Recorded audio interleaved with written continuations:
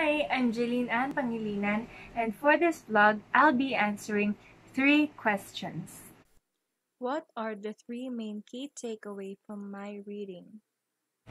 From the analysis of Hill on pages 159 and 160, I have learned that the visuals found in the textbook were purely decorative and doesn't serve any language learning or educational function. I also learned about the importance of visuals, layout, and design. Visual should be the aid for learning the lesson. The layout is the placing of the visuals and the text in its appropriate place. Lastly, the design, which is the overall appearance and function of the book. I should not focus only on the text, but rather I should give importance to the visuals, layout, and design that supports the topic that I'll be teaching. How are these three key takeaways going to affect me as a language materials developer? I have realized that as a future educator, I have to know how to critically evaluate a textbook and make sure that the book will function as an aid for the student's learning. Second, as a future educator, I have to be an innovative thinker.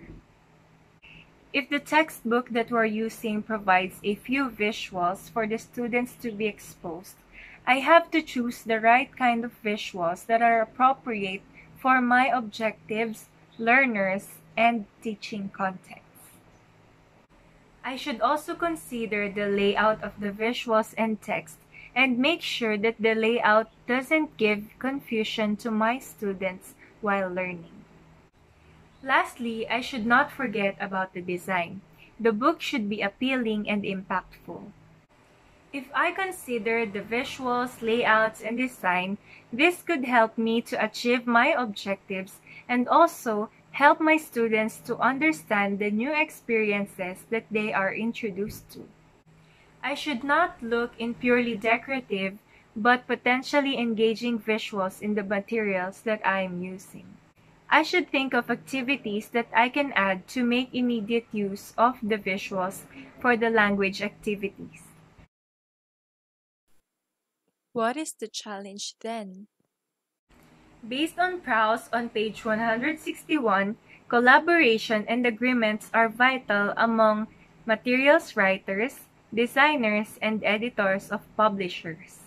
The challenge is, is such collaboration happening? Collaboration is important to produce the visuals, layouts, and designs that are properly used together to achieve effective learning. Thank you for watching. Bye!